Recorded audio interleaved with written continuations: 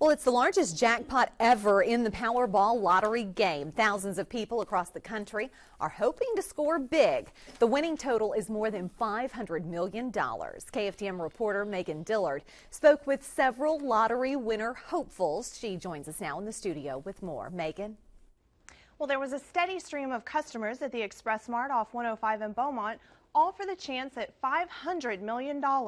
Players chose five numbers and one Powerball number to play the game.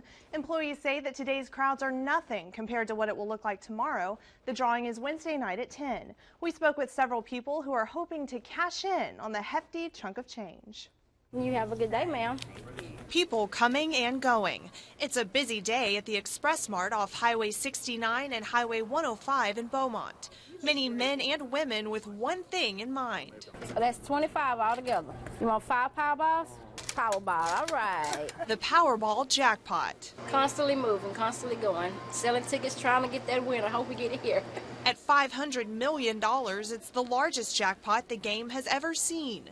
Some people came in for one thing and walked out with a ticket. Well, you never know, so I give it a try. It's been a long time since I bought a ticket.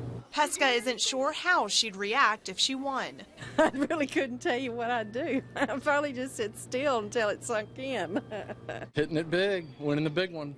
Others already have a game plan. Spread it around to family, friends, you know, the holidays, and uh, just try to take care of loved ones mostly. Are you power playing? You will? Okay. Gonna be six dollars. While hopefuls continue to buy tickets, one man says he's already got the winning numbers. In fact, he plans to share his winnings with us. That's a winner. He just sold me a winner. I'm going to get an envelope and I'm going to put him some money in it. I'm going to put her some money in it. I'm going to donate some money to the church. I'm going to help the poor. And then I'm going to get me a bad automobile and a house. $500 million, more money than most people will ever see, all riding on the luck of the draw. Good luck.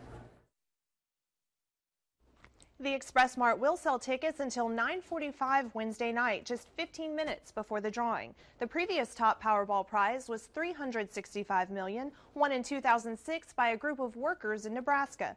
Make sure to tune in to KFDM tomorrow to find out if yours is the winning ticket. Reporting live in the studio, Megan Dillard, 6 News Tonight.